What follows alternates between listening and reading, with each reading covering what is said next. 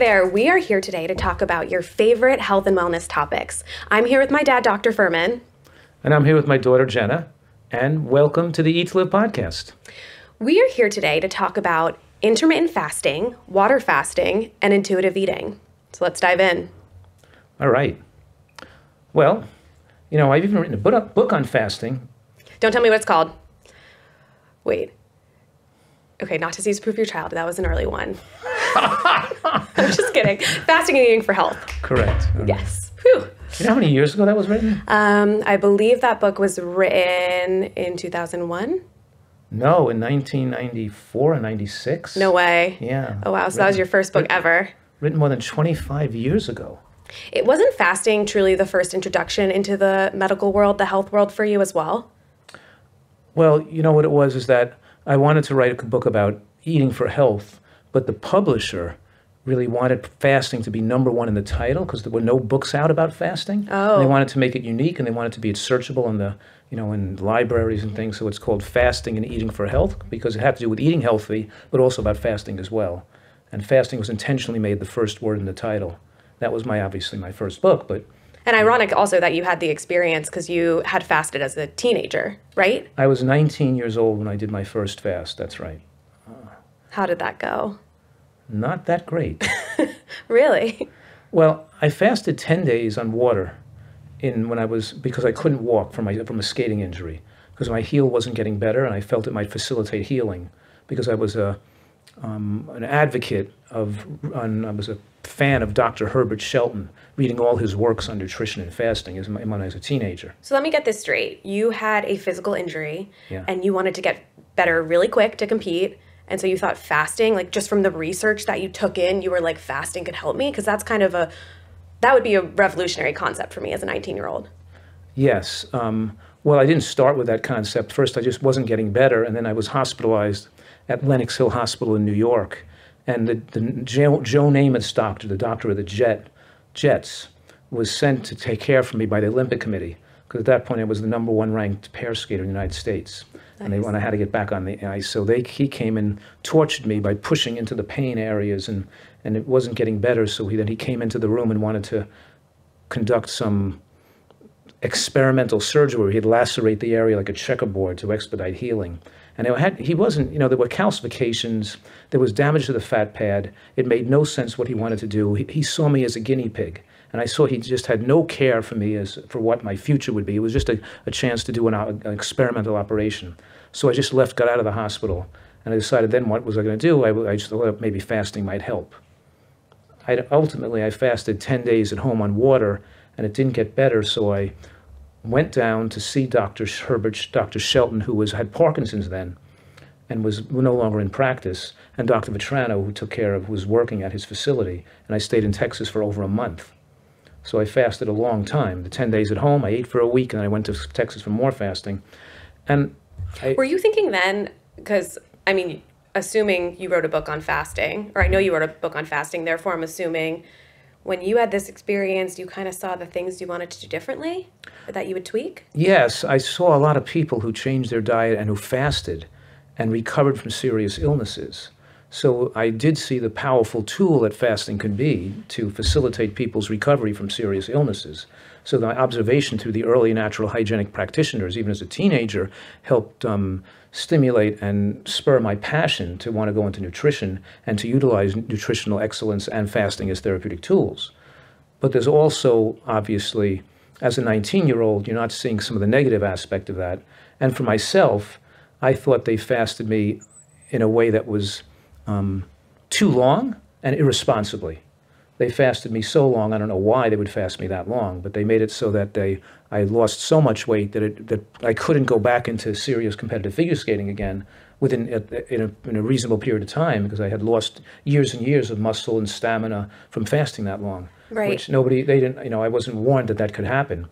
And so it still, it did make me able to walk, possibly walk quicker, but, you know, but um, my heel took, it's my heel still took years to be able to get better and never came back to totally to have a normal heel. So do you think fasting actually even helped that? Do I think it helped me that my heel A physical injury? Well, my thought back then was that it would help absorb the calcifications in the heel. That was, you know, nowadays we have like extracorporeal shock wave to break up calciums in joints, and we can we can heal things. I thought by fasting it may absorb the calcified deformity there, but um, but I'm not sure that I'm not 100% sure that fasting facilitated my recovery or was just resting for a few months and then staying off my foot for a few months that enabled me to get back into training again. And I, I eventually got back into ice skating and, and was third in the prof- world professional, but I had to miss making the Olympic team because that was in 74. I couldn't get back in good enough shape for the tryout nationals at, at, Colorado, at um, Colorado Springs. It was 6,000 feet at the Broadmoor at high altitude. My stamina wasn't good enough and my strength was under my par, so I did not make the, U, the 76 Olympic team because of having fasted so long. I couldn't get back in shape quick enough. So before we get into all the details of water fasting and who you actually do recommend it for, mm. I was just thinking about your muscle loss because I know you always talk about too with osteoporosis patients and all that stuff. I could see as a 19 year old that you could build that muscle back. It's not detrimental. But if you fast someone older, is there any hope to gain that muscle back and strength? Is that a concern? Yes. Well, that's those very prolonged fasts that I did. Could the one of the risks could be loss, if you're fasting person to that long, you're going to lose significant amount of muscle and muscle and bone mass accordingly. And certainly, muscle strength and mass is one of the factors that leads to slower aging. And so, a, this is a this is an art form now. The art form is to maintain this ideal weight, to stabilize your muscle and bone mass in a strong position, and then uh, certainly we know that episodically going fasting could slow aging and extend lifespan, but not so much fasting that you drop the weight to a weight to a point where you've developed weakened muscles and weakened bones. Mm. So that might mean a person could fast two or three days every couple of months because they only dropped the weight from a 145 pound male down to 138 pounds. They didn't lose all the muscle and bone, and they drop, go and they build back in the gym back to 145 pounds again. They didn't really drop down to 110 pounds or 100 pounds because then, if because then at the age of 70 years old, they're not going to build back that muscle mass. I'm seeing it know. in my mind like a graph. There's like this red zone that's like don't go below here. Yes. And that's interesting though. So you would recommend fasting in a for a shorter time for like a day or two days for someone like me who just wants to do it for longevity? Yes, I think that's reasonable. In other words, the problem with fasting is that most people aren't like you. Most people are food. I think the majority of people are food, have food addiction tendencies and have self-destructive behavior with food. They overeat and they eat the wrong food, both, right? Mm-hmm. And they're overweight. And the the food they're eating, not their own fault, but the foods are designed to be addicting. You, they're hyper palatable, they're overly seasoned, you want them, and your brain becomes kind of like attracted to them. So then, if this person who's overweight fasts, there's more likely that fasting period makes them more obsessed with food. You're talking about using fasting as a tool perhaps for weight loss. Exactly. That's where it could be dangerous. It's not it's not so dangerous, but it's not going to be effective because because in in the majority of cases, if we followed people who lost weight through fasting, over a period of years, one or two years, we'd find the majority of them gained the weight back or gained more weight back before they started fasting. The same concept as yo-yo dieting. It's, that's right. It's a form of yo-yo dieting, and it's not the it's not the most cons- way to lead lead to the highest probability of stabilizing your weight at the most favorable weight for your longevity, because that takes long-term consistency and the develop uh, with healthy eating and losing your addiction and attraction for unhealthy food because you're staying off it for a long period of time to develop the taste muscle and the preference for healthy food. And you get the instinctual connection with the feeling of how much food is right for you. And you start to get in touch with the signals of satiety because you're getting enough fiber, enough nutrients, getting the right amount of food volume, you're not overdoing calories. Yeah. And over a period of time, your body gets used to it. And then you can get connected with the natural cues for hunger. So you're eating when you're hungry, and you're not eating when you're not. You're not no longer feel like you need to emotionally eat or eat for addictive withdrawal purposes. You're just eating because you're you're feeling that you're eating the right amount of food. It's time for you to eat, and you're maintaining yourself at the healthiest weight, not too thin, and not too heavy.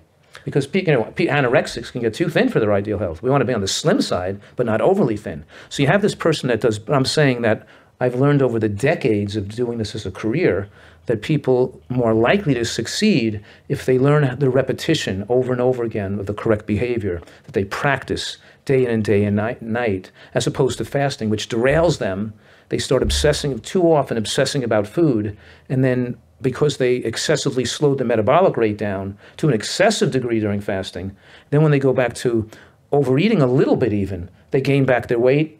It comes back too quick, and the yo-yo the yo-yo dieting thing is that if you put back on the weight too quickly, your body can't put on muscle and bone. It's putting on more fat, and the and the and the rapid regain of weight could be saturated fat, and the yo-yo dieting could be so fasting. It could be not sa- not healthy for your long-term health. I've so fasting could be actually a negative longevity factor there. You know. I've also heard that fasting kills some hunger cues that you've might developed. So if you're used to a certain amount of food that you eat, eating no food, you might not know when you're hungry or not. You kind of have to. You think you're always hungry because when you're fasting, I assume you're really hungry. No. No? when you're hungry, if you have normal hunger cues before you go into a fast, mm-hmm. when you start to go into ketosis and your brain learns how to use, we're talking about total water fasting here. Okay. No calories coming in for Right. a prolonged period of time. Right. It usually takes about 36 hours for a female and about 48 hours for a male for the brain to accept ketones, which is a breakdown product of fat, as an alternative energy fuel. And that's called protein sparing. You're not going to burn down some muscle tissue because you, you can burn, you can break down muscle tissue to make glucose for the brain, but the body doesn't want to wait, wait. I need to take all this in. Mm-hmm. You go into ketosis, which which takes 48 hours for a man, 36 hours for a woman. no, Oh, you go into ketosis. You start to make ketones earlier than that. okay. But it takes the brain 36 hours for a female and 48 hours for a male to be able to accept ketones as a primary fuel. Because the brain, the ketones, the brain functions on glucose. But after not seeing glucose for a long enough period of time and being bathed with ketones, it starts to accept ketones to be able to burn ketones. So then they can muscle spare because muscle, the body can break down muscle tissue to make glucose, but it can't make glucose from fat breakdown.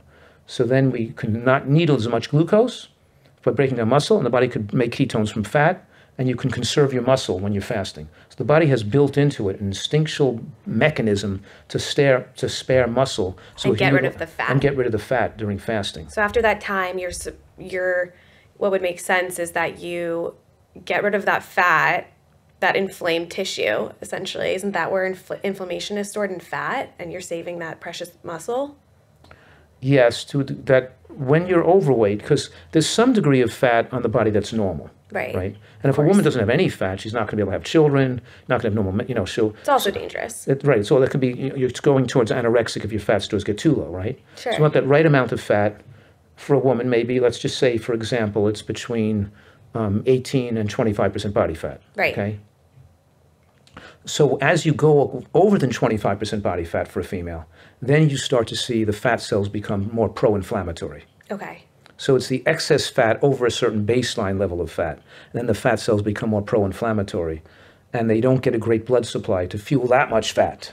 So the lack of blood supply, lack of oxygenation, leads to more reactive oxygen species coming off the fat supply. We talked about those before in a podcast. Right, It's all free- coming full circle. Okay, so you get more production of inflammatory um, substances that then suppress immune function and increase risk of cancer from the excess fat, but not a normal amount of fat.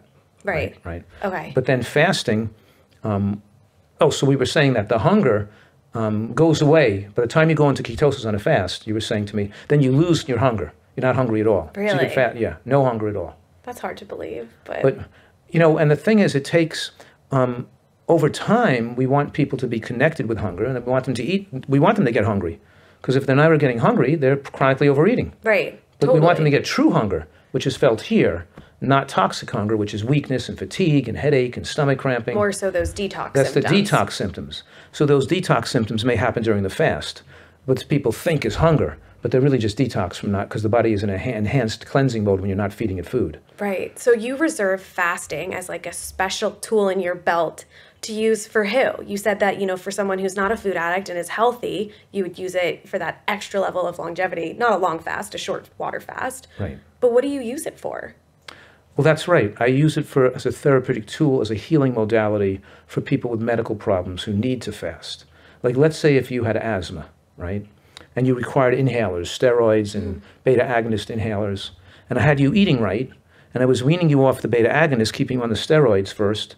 But I'm afraid when I stop the steroids to wean you down, you're going to start to have asthma attacks. Because the asthma attack itself is a detoxification crisis. Your body is throwing out waste products through the lung, tightens the lung up, and makes you not breathe. The, you don't, the body doesn't know what's causing you not to breathe. It just thinks it's throwing waste out of the lung because the inflammatory response is one of the ways the body repairs and heals tissue. So the asthma attack is the detox, is the healing, and the headache is the healing process. But we don't want to get this person to not to be able to breathe or kill. You know, we, the body doesn't know it's hurting itself by not having oxygen come in. It's Right. just It's the lung. dangerous. It could be dangerous, right? Sure. So therefore, when we're weaning the person off the steroids, um, but first we got them eating healthy for a year and really healthy, and they're not needing as much medication gradually.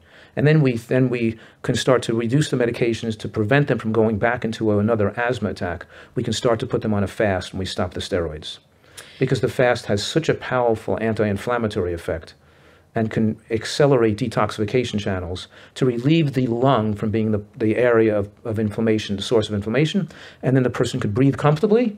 Because you're not because when you starve the person, because just think about this, it's the it's the overactive immune response that's causing the, the allergy or the allergic reaction or the asthma attack. So by fasting, you've kind of starved out the extra active immune response, and you prevent the immune system from from overly activating itself and causing an asthma um, an asthma attack or an asthma exacerbation. So now we fast this person. They're off their medications, and I've complete fasting them for two weeks or two and a half weeks on just water. Wow, that's a long time. Yeah, and then when we reintroduce food, it's a long enough period of time where they're no longer going to have further their asthma attacks. So now they're eating healthy again. They detoxified long term with a fast, and now I've cured this person of ever having asthma for the rest of their life if they stay eating healthily. Wow. So, So they're done with medication. They're done with medication. It, it was it gave me that extra tool I needed to complete the withdrawal from the steroids without facilitating, without me in- instigating another asthma attack again. Right. And let's, let's say a person um, has lupus, for example, or mixed connective tissue disease, or a pro another inflammatory disease, fat, or psoriasis. Fasting can be utilized in the same way because in many cases we're, they're on the diet for a period of time, they're coming off medications that are, that are dangerous and toxic, and then when we stop that medication, what are we going to do when they start to flare up again or get mild disease back again? Because we're getting them off medication, they're getting health- healthier, but maybe they're not can't come off the medications all the way. That's where we'd start a fast. Stop the rest of the medication, start a fast, because the fast will stop them from having another attack and facilitate on a prolonged fast could be the, the, the um, point that enables us to transition to wellness without requiring medication. Help me, aids me in that making that transition process for them. So I'm assuming these fasts want to be supervised, but my question is how long do you want to make sure they're eating a nutritarian diet before you even engage in a fast? Well, that's a really good question because with a serious illness like psoriasis, lupus, asthma, Sure. I, I don't even usually, you know, uh, inflammatory bowel disease, ulcerative colitis, like for example, I don't even like to take the med- lower medications or to take away any of their, if they're on medications to suppress symptoms, until they follow the diet for at least three months. So they're not even coming off medications for three months. Now I need, usually, once they're, I start decreasing medications after three months. Now they're eating healthfully, and I'll slowly decrease the medications over the next, let's say, six months while they eat healthfully. That's nine months. I've been decreasing medications for six months. The first three months I didn't. Because it takes three to six months to get your levels of the cell density of nu- nutrition to be very high. Mm. See, very few physicians or people understand these concepts of that the detox of the disease symptoms are the healing, are healing processes, number one. And number two, that we're talking about the nutrient density in the cells of the body. That's why I want the high nutrient density in the soil, because the nutrient density in the soil reflects the nutrient density in the food, which reflects the nutrient density in the person who eats the food. Like a food chain. It's a whole chain of, right? And nobody hardly understands this process. It's very few people. Um, I was just thinking that, you know, we're getting into all these specifics, and obviously, this is your craft. You're very knowledgeable about fasting. But for someone who has a serious health issue, how do they find a physician that they could supervise them? You can't do this on your own. You need someone that knows what they're doing. That's correct. There's very few doctors around the country that can that can do that do this. But you, it's it. I was just thinking too, like surgery, a, a more so what I see as extreme procedure is available at the ready, and yet fasting, it seems like you would have to do a lot of research and dig to find a, a knowledgeable doctor if you Right. want to cure yourself that way. Right. And you know, I've, um, in a sense, you know, have a lot of ex- experience over four decades utilizing these protocols, helping people get well. And the most fascinating thing is the silence and lack of interest of the medical profession and other doctors, specialists, and even plant-based community, people who are, they don't have interest in asking, learning, inquiring of what I've done, what I've seen, what methods I've used, how long, like the questions you've asked me. Um, there's a few doctors I can mention that There that- are some. There are some who, who call me all the time and utilize my knowledge and, and my experience and Yeah. and, And, really got into fasting. and got into it and, and and used and have built onto that and worked with me on these things. Yeah. But the but I'm saying the the surprising thing is the mass silence. You know, even despite that we publish articles and discuss this publicly, you know, tell you know, we're- still the amazing thing is the lack of interest in the in the health professional population about utilizing these natural approaches. Completely, they're interested in you know supplements, naturopathic medicines, herbal medications, you know, whatever they're you interested in. Some kind of fix they can give people, a pill, a magic pill. But People love popping pills. they love popping pills or a magic answer, but something that involves Yeah. diet change and fasting. Whoa, that's two way out. You know, I uh, think not eating for two weeks scares people like a lot. Like Yeah. I think that's a very foreign concept. I mean, we're taught from such a young age to like finish your plate. You need food. Food Mm-hmm. food is good. Food is fuel, and it is good. It is fuel, but I guess sometimes when you're trying to get out the toxins, you don't want it. Yes, I mean, that's right. What, what I'm saying here is that what's not understood by the general practitioners, including the naturopaths too, you'd think they, you know, they still don't understand that the, inf- the inflammatory process being intertwined and part of the process of repair. And the inflammation serves to dilute, wall off, and remove the injurious agents, setting into motion a complex series of events that tries to heal and reconstitute damaged tissue. And so they see disease symptoms as something to suppress with poisons, as opposed to let their, the, the healing reaction complete itself so you can eventually get well. And the medical profession is based on that concept of taking in poisons to suppress the natural detoxification process of the body, which manifests itself as symptoms. Right. You know, so they're very conf- Antibiotics, antiviral. Is that what that does? no, they're using the these um, biological agents and chemotherapeutic agents to suppress, like prednisone, plaquenil, you know, you know, other drugs, the whole There's a lot of medications armamentarium of medications, all the different medications, you know, that suppress inflammation, whether it's from rheumatoid arthritis to ulcerative colitis. They're taking these serious drugs that's Imuran, they're suppressing inflammation. Mm-hmm. But it leads to the person more chronically being sick and never getting well and requiring more stronger drugs and have to be on drugs the rest of your life. So not dropping the illness and moving on. It doesn't. That's right. You can't drop the illness and move on as a normal person. You're, you're now stuck on poisonous drugs for the rest of your life, which is well known to shorten your lifespan, increase risk of cancer, and then you'll need more and more drugs in the future. And just to reiterate, you don't tell people who have an autoimmune condition or a serious condition to just drop the drugs completely. You wean them off slowly, and it's medically supervised. And, And it may take a year to wean them off their drugs if they're healthy enough to be to be able to accommodate that, right? So it may take a long time before even considering putting them on a fast. right. But the but what we're talking about here too is the fact that um, even utilizing fasting more judiciously and not recommending most overweight people fast because it's not the most it's not the most way to that you get the, the best probability of the person keeping their weight down long term. Right. You enhance the probability if you actually feed them correctly and they learn how to replicate that way of eating over time, tweak it so it's just the right amount for them and eventually adjust their taste to it. And through repetition and adjustment and long term adherence with that way of eating, it increases the probability they're going to stay with that and quit this idea of yo yo dieting, going too extreme. As and also for a lot of these people who are food addicts, you push calories down too low, even with intermittent fasting.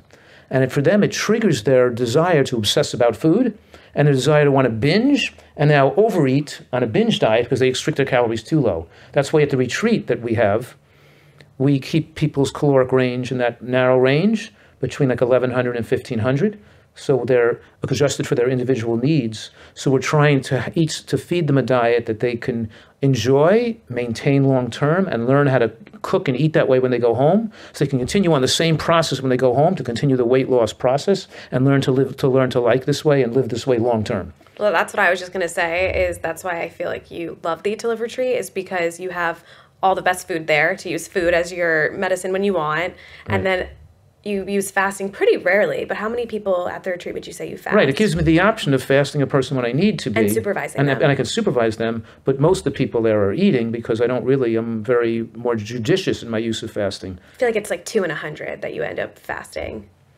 or is it more than that?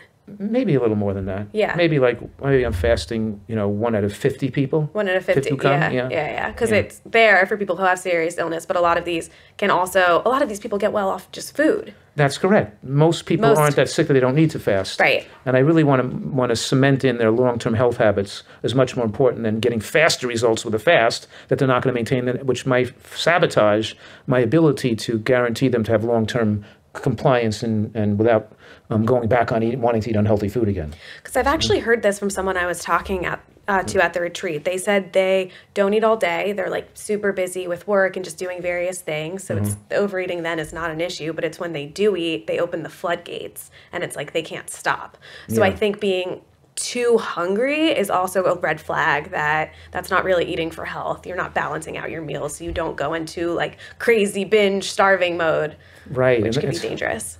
it's why this concept of um, intermittent fasting, or where people go to a or time restricted eating, where they go to one day or one meal a day, also usually doesn't work effectively long term because they wind up eating overeating, stretching out their stomach, and it's not good for their digestion or health. trying to fit it all in All at at one, one time, time. and thinking maybe I'm going to be hungry later, so I better eat more now. Exactly. Yeah, and you know, you interfere with the digestive efficiency, the production of digestive enzymes, the bacterial, healthy bacteria, and the so you get more indigestion and more slow digestion and more digesting without the proper enzymes. So when you eat one meal and you overeat, you tax the digestive system and you don't digest as efficiently. So it's better to have two meals a day of more reasonable amount of calories, or three meals a day if you're highly physically active. And some women do better on two meals, and some people do better on three meals. But I don't think it's very rare that a person would do better on one meal. But it could, you know, it's rare. But I don't really. I'm not trying to dissuade people against that. Right. We always talk about that big B word, the balance. And so I feel like it's you never want to push yourself to either limit. You want to be just as comfortable looking forward to your next meal and not stuffed to the brim at the end of your meal.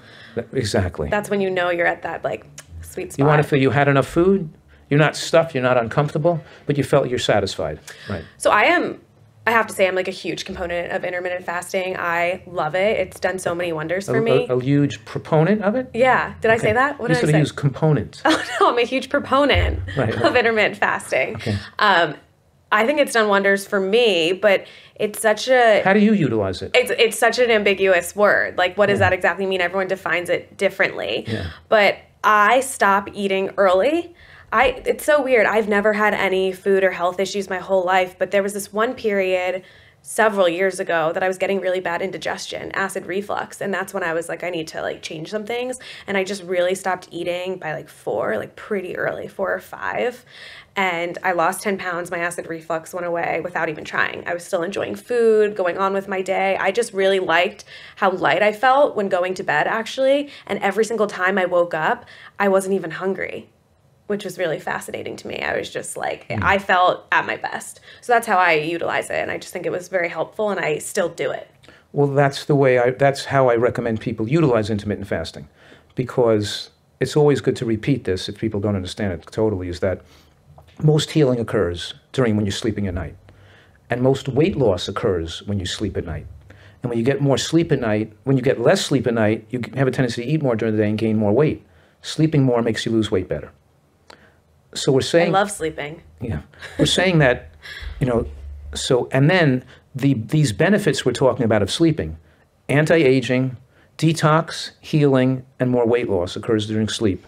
All those benefits occur more when you're not digesting food when you're sleeping. Mm.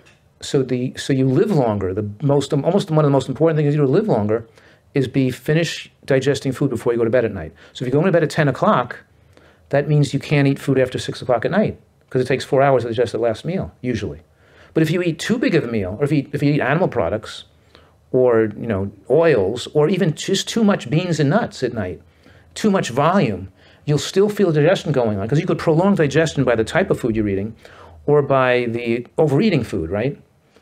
So And I- and, and you'll then you'll go to bed on a stomach half the night you'll be digesting food and you won't get the full benefit of your sleep. I was just gonna say, I swear it affects you too because when I go to bed when I've overeaten or when I'm a bit too full, I don't sleep as well. Like I'm I'm not kidding. When and so that's why I love intermittent fasting. I just feel like it made me feel healthier, better, stronger, more more energy, like all these little things. I think from not digesting food at night and sleeping better. It's definitely good, but I don't know if the term, I personally you wouldn't call it call it intermittent eating? fasting because you're not really fasting. You're just eating a lighter and earlier dinner. Yeah. You know, it's more Yeah. like time restricted eating, and it's almost like the one of the um, core goals of a nutritarian diet is not to eat heavy before you go to bed at night. But it's not fasting per se. You know what I mean? Mm-hmm. Right. I know it's funny too because some people are like calling their overnight fast if they're pushing it to 15 hours, which I do like every yeah. single night. They're calling that Fast- fasting inter- yeah. and they're even dropping the intermittent. So I'm like, wait, what are we talking about? I'm like, oh, so you're eating during the day, you're just not eating at night when you sleep and you're pushing that out. So like that's what I would call intermittent fasting, but you might call it something else. Yeah. So, do you think it's ever dangerous or not a good thing to calorie res- like to time restricted eat or intermittent fast? Well, like I said, that um, you know, even I'm even I struggle with that sometimes because sometimes You? I You're not might perfect. I might overeat at dinner. You know, the chefs are making all these foods, and I want to have like a second dessert or I have an extra helping. I have like two good tasting food around me, Mm-hmm. and I'm eating overeating at night, and I feel, oh shoot, I overate, and now I'm going to bed at night. And I feel it in my stomach. Mm-hmm. I feel You like know, people would not believe me if I told them how much you enjoyed food, like how much you are a foodie, secret foodie. They'd be like, "You're wrong." He tells me to eat broccoli all the time. I'm like, he loves broccoli.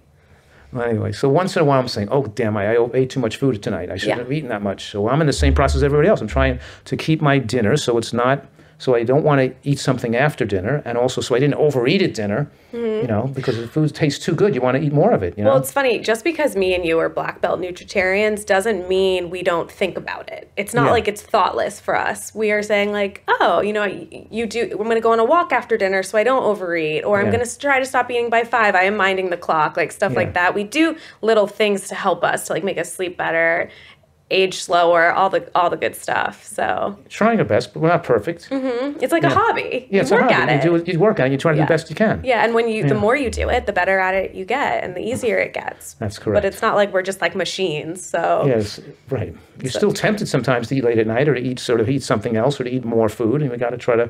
But the most important thing is, is is at nighttime is the time when you want to be most controlled Mm-hmm. because that's the most important time not to overeat. right. So Mm. I know we get this question so many times, and people are like, "Can I skip my breakfast?" And just to reiterate, that's where you'd say, It's better not to skip breakfast, or but sometimes you can eat breakfast. Like I'll go, I'll wake up in the morning, and I'll go to the gym, or I'll go for a, or I'll go for a run, or I'm going, or I'll get back from playing tennis. I don't get back till 10 o'clock in the morning, let's say, and I'll eat breakfast at 10.30 or 11 o'clock. Mm-hmm. Well, that day, I'm not going to eat lunch at 12. I just ate breakfast, lunch at 11, at 10 o'clock. Mm-hmm. So I'm going to eat, I'm going to eat lunch at 3 or 4 o'clock. That means it's the last meal of the day, so I ate two meals that day. But the next morning, I woke up because I ate dinner at 3 or 4 o'clock, and I, I exercised a lot the day before. Maybe we did spend a lot of time in the gym. So the next morning at 7.30 or 7 o'clock, I'm hungry. So I'm going to eat early because I'm hungry because I ate an earlier dinner the night before. So I might sometimes do two meal a day days and sometimes eat an early breakfast. But the bottom line is that if you're skipping breakfast and then eating late at night and eating more calories later in the day, it's not a good idea. You're better off because you don't really benefit from skipping breakfast as much as you benefit from skipping dinner or eating a lighter dinner. right. You benefit from eating a lighter dinner. You don't benefit from extracting, extending the fast into the day is not as that very beneficial. It's beneficial from extending your nighttime, you know, pushing your eating early in the day, and you burn more calories in the day. You, your metabolism is higher during the day when you're when you're so when you're eating when your metabolism is higher, you're burning more calories. When you're eating when your metabolism is slower in the evening and at night, you're just putting more calories into fat storage. Right. So I mean your advice to people is to detox, eat a healthy diet, learn learn to love the right foods and choose the right foods for you and for your health. And then you mm-hmm. have this concept of intuitive eating. So and which our definition I feel like is so different than other people's, but it's really listening to your body once you've detoxed to eat the right amount, know when you're hungry and Right. feel good, right? Correct. So how else would you utilize intuitive eating? Did I miss anything? Well, I utilize intuitive eating because one of the symptoms of true hunger is enhanced taste sensation. The food actually tastes better. So we can get people to realize how good this can taste. If they don't overeat at breakfast, it's going to make the lunch taste better. And if they don't overeat at lunch and they get hungry before dinner, the dinner is going to taste better and they're going to enjoy eating more. So if you're chronically stuffing yourself and trying to get too much sensation of caloric overstimulating with calories, then the next meal becomes um, you, you don't have as much desire to eat and as much enjoyment with eating. So overeating leads to less enjoyment with eating. So we're enhancing our enjoyment by beating, eating more the instinctually right amount of calories and trying to get a little hungry and adjusting our calories so we actually feel, oh, I'm hungry for dinner. I really want to eat dinner. You mm-hmm. enjoy dinner more. So, I'm, Right. so we're toying with that because people say, oh, I'm never hungry. Well, if you're never hungry, you're probably chronically overeating because you have to like eat le- little enough so you can feel hungry once in a while so you know that that's about you're hitting them you're closer to the right amount of calories you need I actually, when I work with people and coach them, I hear that a lot. They're like, but I'm not hungry for this, I'm not hungry for that, but I need to eat. And it's funny how often you have to tell them, don't force yourself to eat because they're instinctually led to believe that they should be forcing themselves to eat this amount, this amount, this amount, rather than just listening to their, their bodies. and eating and they're eating by the clock and that's what the other thing with, with um, intermittent fasting they're kind of like eating by the clock and forcing low calories when they're hungry and they're and they're not really learning what to listen to the body and if you get healthy enough eating a healthy enough diet you can listen to the body because the body will kind of attract um, direct you to the right amount of calories. So i'm not artificially eating less calories than i want. I just want mostly i want the right amount of calories and i'm not comfortably overeating or eating too many calories. So my body weight is a good weight because i'm eating as much food as i feel like eating it's the right amount for my body mm-hmm. and it just leads you to an appropriate weight. it leads you to an appropriate weight And correct. you always say hunger is the best sauce. So you, if you're mm. not hungry for the next meal, that makes perfect sense that it wouldn't taste as good, and your body's not really wanting it. correct yeah So you're not going to get too thin, or it's just going to lead you to that weight that you should be. and you digest the food better because if you're chronically overeating you're like almost chronically stressing your digestive enzymes and now you're not going to digest food as well get more bloating and some people have lower digestive capacity and the more they chronically overeat it keeps their digestive capacity always stressed out and they don't digest as well by undereating just a little bit or, or cutting their calories back a little bit and chewing better they start to get better digestion Wow, it's fascinating. So, do we have time to answer a few member questions? sure let's do Okay, it great. I think I memorized them, but if not, I'll look at my phone. okay First question A person's doctor told them that they're not getting enough calcium from the nutritarian diet and that you, the doctor, needs to interpret the level of calcium. You can't just see it from a blood test. Is that true? And how does someone get enough calcium? um, Yes, it's a good question um, because the calcium in the blood test does not tell the calcium the person needs. So if the calcium in the blood test is normal, it doesn't mean your body intake of calcium is normal. You could be losing calcium in the urine, being a negative balance, developing osteoporosis from weak bones, and developing weak bones, and You your can't calcium. tell calcium in the bones. You can't tell calcium in the urine, um, in the blood. Excuse me. So if the low, if the calcium is low in the blood, it's because your protein is low in the blood, and because your body proteins hold on to calcium. So so but but a nutritarian diet contains plant foods that are rich in calcium. So this person what? This person doesn't even know what a nutritarian diet is. This doctor because yeah. So we're talking about beans and nuts and seeds and green vegetables. A nutritarian diet is the diet that recommends beans, nuts, and seeds, and green vegetable. It's a high calcium plant based diet. And this doctor may have been referring to a study came out of England showing that vegans had higher rates, had weaker bones, and higher rates of osteoporosis. And I did a blog on that at drfuhrman.com. I showed that the vegan diet that was documented in that study that people were following were not based on beans and nuts and seeds and green vegetables like a nutritarian diet. And it, had, it was low in protein because they were eating a lot of bread and pasta and oils White white flour, white flour, yeah, rice. and also it was low in pro, it was low in protein and it was low in calcium. And I showed an analysis of a nutritarian diet next to a next to a like a high carbohydrate or low fat plant based nutri- um, vegan diet, and it showed that the nutritarian diet had double the calcium and double the protein, almost, almost double the protein of this diet because we eat these high calcium, higher protein foods. and didn't you tell me something that animal products don't even help calcium much because it makes you excrete more in the urine? That's right. When people are generally eating animal products three times a day, like they are, it creates more acid in the body. And to get rid of the acid, the body is ur- urinating excess calcium. Oh, So you, you're urinating out more calcium, so your calcium requirements are higher. So you have a higher calcium requirement on a meat based or animal product based diet where you're eating animal products more regularly. Whereas in a nutritarian diet, which is plant based or you're eating um, either on totally plants or you're eating a small amount of animal products below the range which you're going to overly acidify the blood, so you're not going to dump calcium in the urine. So do So nutritarians need to supplement with calcium? They generally don't, except some thinner and frail women as they age have, because they're smaller, their intake of food is smaller. And because their intake of food is, food is smaller, and the bioavailability of calcium, the digestibility of calcium, goes down with aging. So women over the age of 65, 70, um, who are could develop. So we're giving them, or we recommend, a small amount of extra calcium, food-based calcium, with, e with a meal or with each meal, as opposed to a large calcium supplement like 500 or 1,000 milligrams at one time, which have been shown in scientific studies to increase cardiovascular problems because you get calcification deposits in soft tissue or in the heart that could be bad for a person. So it's not good to take a lot of calcium at one time. But there is a benefit for a person who has a tendency to have osteopenia or osteoporosis to take, as postmenopausally, to take a little bit of food-derived calcium, a small amount of, you know, 100 to 150, just to add a, just to top off a little extra calcium in that meal to, to make up for the loss of bioavailability that aging happened for the lower absorption of calcium to help strengthen or maintain her bone mass. So there's some indication we give people calcium supplements, but we do so in smaller amounts, more frequently, and we try to use a food-based calcium, not just a, ba- a plain mineral calcium.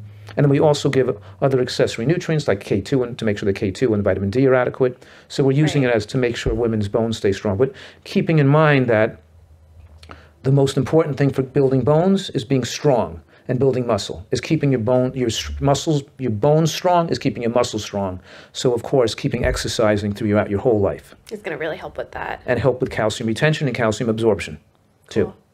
All right, next question. Is the keto diet good for you? Does it have any benefits at all? What about for someone who's diabetic? Right. Well, um, the keto diet is usually a diet that's higher in animal products, but the hallmark of a keto diet is carbohydrate restriction. And they're carbohydrate restricting sufficiently to keep the person in chronic ketosis. So the Which body we went over. which we went over a little bit. So, the, so the body is now in the, is learning how to live on ketones as an alternative or emergency flu, fuel. But it keeps the body in a chronic state of acidosis. And the question is, it may help a person lose weight, drop their blood pressure, lower their triglycerides, and even improve their glucose on their diabetes. But so does a nutritarian diet, also does that through a different mechanism. Because the high fat intake on a ketogenic diet distorts the structure and function of insulin receptors. So now they have to carbohydrate restrict because if they eat carbohydrate, they get a higher insulin response. Insulin doesn't work as well, and they get more glucose response in the blood in response to a carbohydrate. So wait, just just to make sure I'm understanding this correctly, you're saying because they don't use insulin because they're not taking in as much carbohydrates, the insulin receptors then become like weakened in a way, or not No. used. No, I'm saying because um, their their diet is generally higher in saturated fat, which is found in animal products.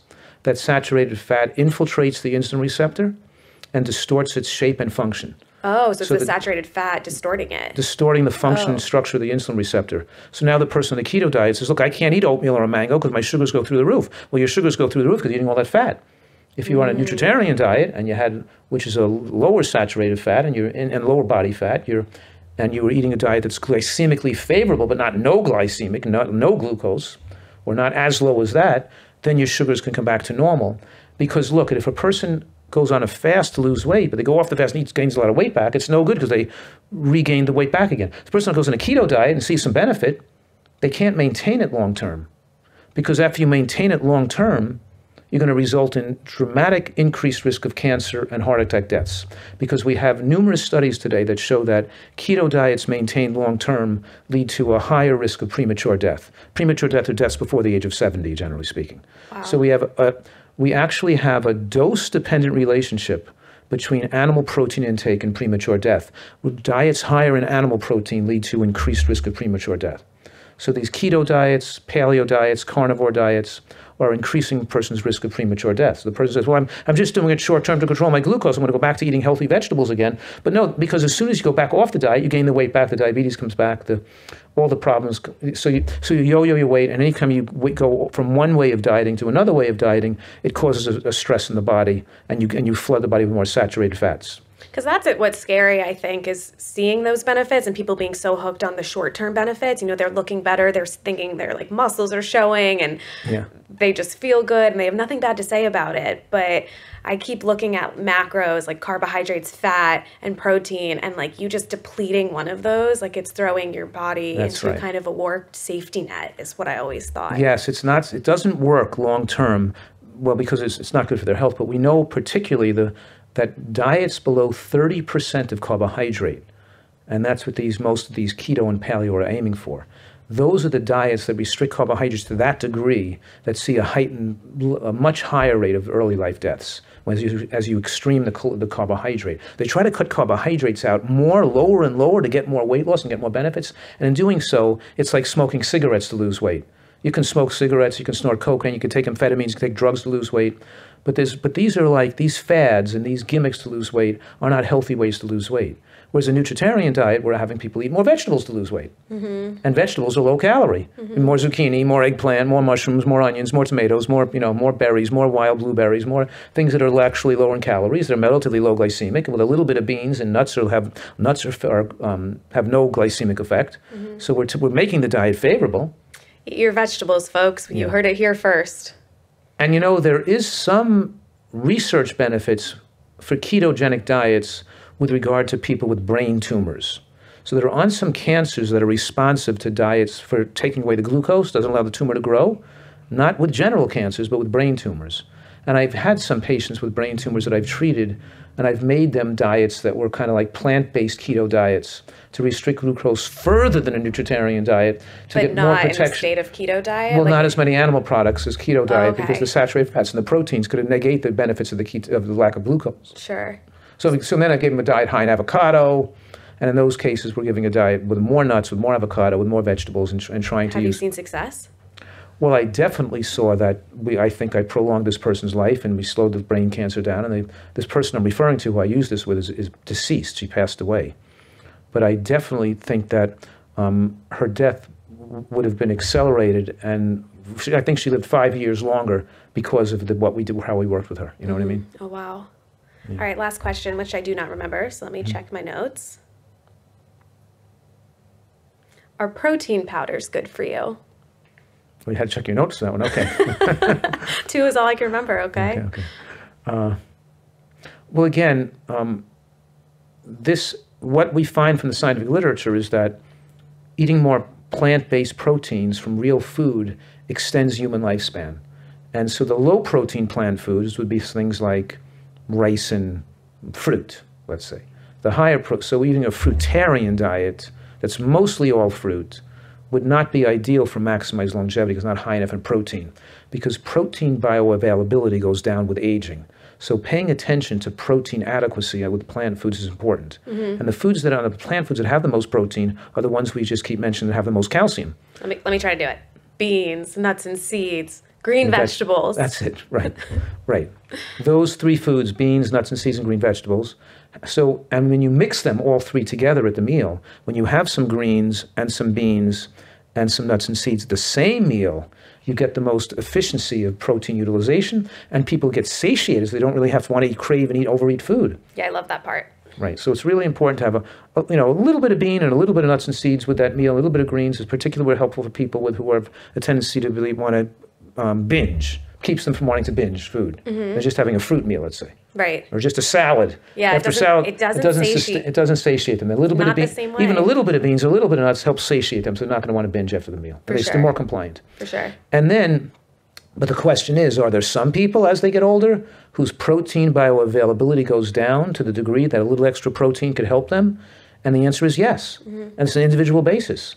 So some people over the age of 80 might require a little extra protein, but we don't want people to supplement with whey protein, dairy protein, or isolated soy protein because those proteins are just too concentrated and they raise IGF-1 too much, which could increase cell replication leading to cancer. We'd much rather they eat a pea protein or a hemp seed protein or just hemp seeds. Aren't more. yeah, aren't those foods also processed? Yes, Yeah. they're highly processed. So it's like for me, I always like to know what's in my protein powder. I mean, you're talking about a protein powder like yours, like the Pro Boost that has these real foods or extractions from real foods that Right. you can read. Right. If it's all like protein isolate or weird words like that, that my red flag starts to go up. Exactly. And we want people to recognize they're getting most of the protein from the food. They're not trying to use any kind of protein powder to try to think that that's going to be their major source of protein. They got to eat the right food. Mm-hmm. And the right food is don't get most of your protein through animal products. Get it from these healthy plants we're talking about. And if you need it more, because you need more, because you're a professional athlete, you're you're a heavy, serious weightlifter, that Like or- me. or an athlete like you and I, or